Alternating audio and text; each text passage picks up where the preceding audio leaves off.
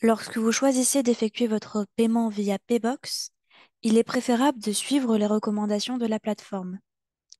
Au niveau de ScienceConf, cela se traduit par le paramétrage du formulaire d'inscription, qui se trouve dans Gestion de l'inscription, Formulaire, et cela se traduit notamment via la présence de certains champs désignés dans le formulaire sous Paybox Champ ou protocole 3D Secure V2.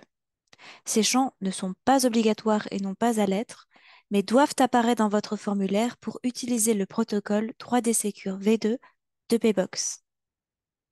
Ces champs peuvent être obligatoires uniquement si Paybox est votre seul moyen de paiement.